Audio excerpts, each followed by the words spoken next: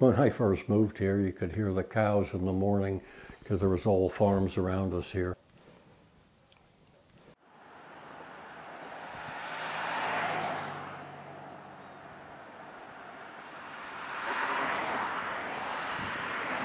It was, there was nothing here but farms when I was growing up. There was a little cluster of houses up in the center of Newtown Square, which at that time was right at 252 and Route 3. We just wandered all over and lived an outdoor life.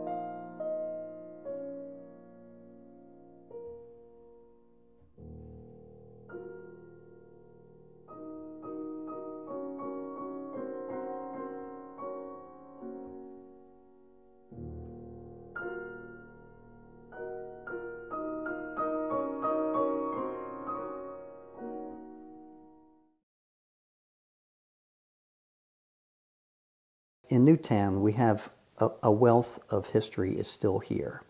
Lots of other towns have knocked theirs all down. They're all gone, but two or three buildings.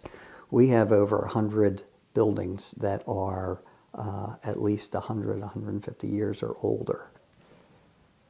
Although I knew everybody in Newtown Square, uh, nobody knew a thing about this area. We researched between a group, a small group of us, every old house in the, in the township.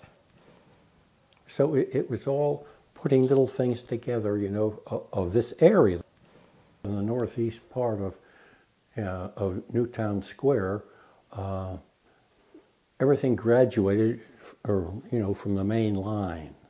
I tracked down all the old timers, the people that used to live here, then I'd ask them, who, when you first came here to work in 1910 or 1920, uh, who were the people, and then I'd trace that down, and they could have been in Chester, they could have been in, you know, in the area if they were. Reading the old documents were, was hard because they're handwritten back in the 1770s.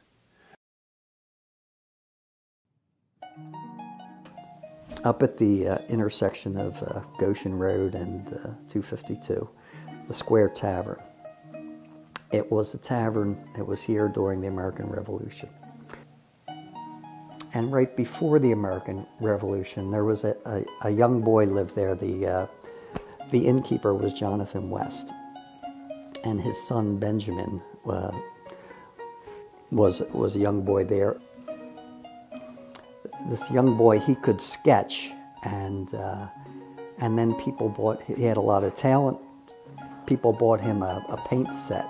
You couldn't just go to the store, you had to go to the big city and, you know, and order it from England.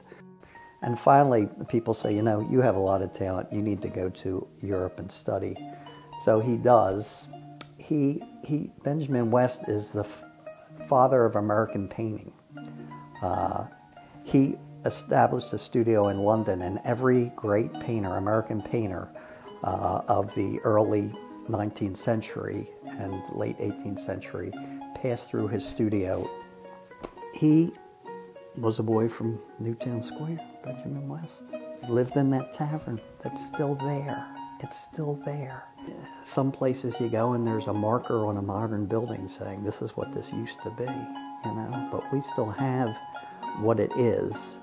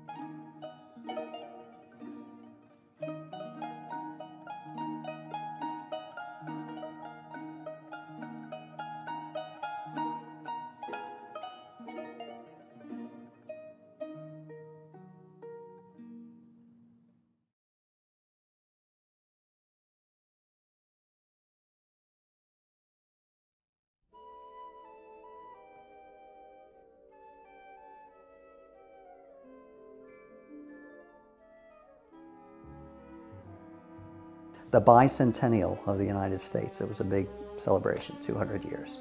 And that got a lot of people involved in or thinking about history, because the history of the country.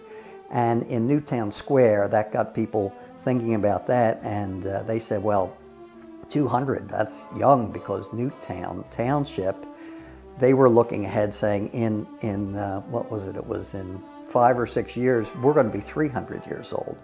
So they started planning what they called the tricentennial of Newtown Township.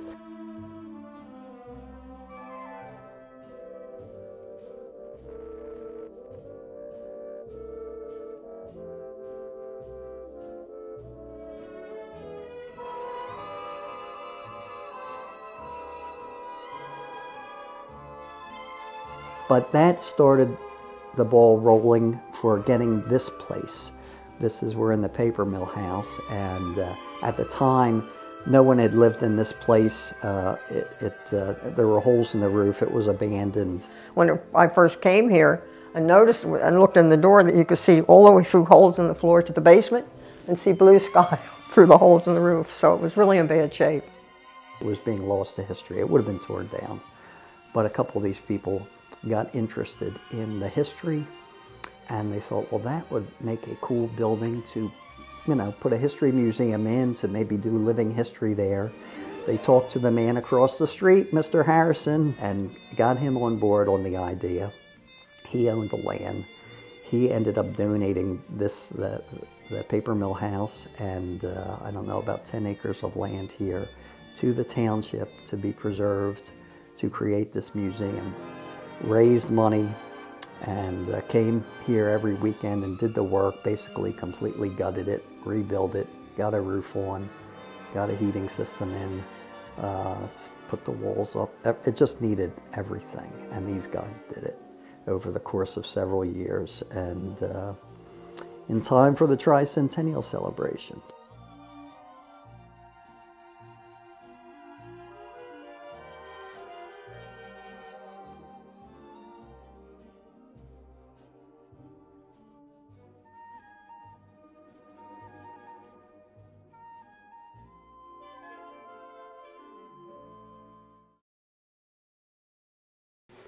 The fact that I can, can't go anywhere in Newtown Square and look out and see an open field is, is, is not good.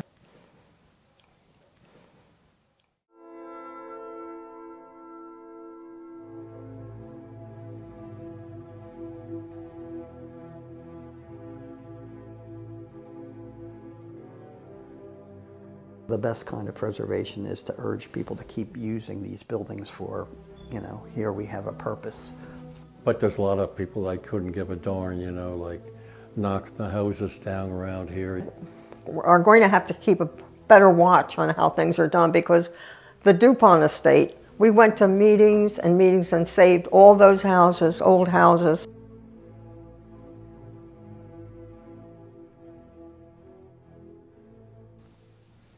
They tore down all those old houses on, on the DuPont property and they weren't supposed to do it.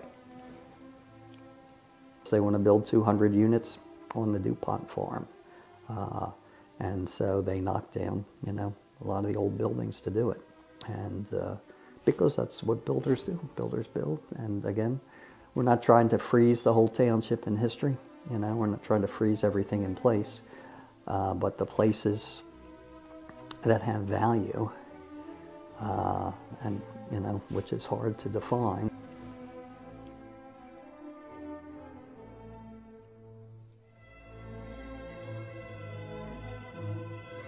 Some people think, oh my gosh, if, if my house is designated, then you historic people will be looking in my windows and making me do this and tell me what color paint I have to use. And you know, it's not that. There is also a right of the people to say, no, there are certain things in our township that we value so much that we don't want you tearing it down.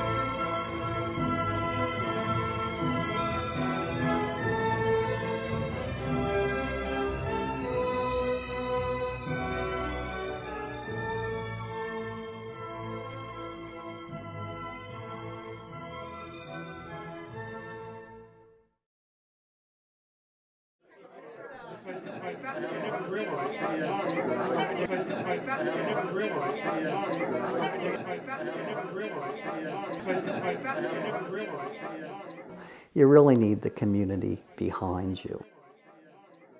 You have to get people to value history, and that's just a hard sell.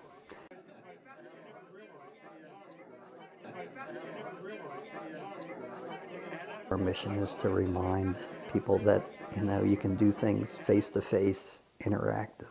In, in coming into the historical society, you really come into the beating heart of what makes a community, more than just a place that everyone goes to sleep. A city, new- a new city without any past is, doesn't have a soul, I don't think. You learn a lot from the past.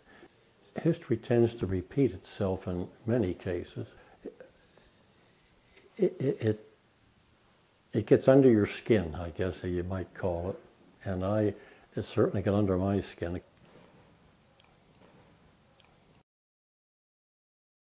I've met wonderful people here. I've gotten to know uh, a lot about the history of the area, and uh, and it's a it's a journey of self-discovery too. When you get, when you get out and get involved with with people and uh, with the community, you uh, it's a gift you give to yourself.